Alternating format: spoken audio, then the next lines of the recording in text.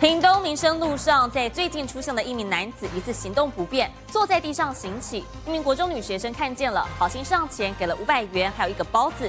但没有想到呢，这个男子直接站起来走路离开，让女学生相当的受伤。而画面曝光之后，引发了讨论。很多网友都说，这个男子行乞只会收现金，像是爱心便当还有饮料，都会被他随手丢弃。国中女学生似乎才刚下课，看见坐在地上身穿白衣男子疑似行动不便，急忙上前弯下腰给钱给食物，眼看好事一桩，但这一切竟然都是 gay。